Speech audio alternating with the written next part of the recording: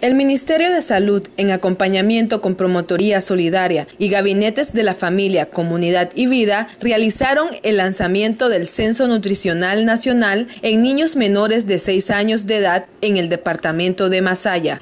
Todos los padres debemos de saber cómo está la salud de nuestro hijo y esto es parte de la salud, la nutrición, el peso, cómo se encuentra nuestro hijo y, y al mismo tiempo pues podemos pensar en darle una solución si algo está marchando mal. El censo que viene a dar complementariedad al programa Amor para los más chiquitos pretende llegar a más de 5.400 menores de edad. Vamos a llevar a cabo este, el peso y la talla de todos los niños menores de 6 años, tanto casa a casa, nuestras enfermeras van a estar visitando todos los hogares para realizar el peso y la talla de los niños que no están en edad escolar, como en la escuela. ¿Cuáles son las orientaciones que has recibido en cuanto a la alimentación del bebé?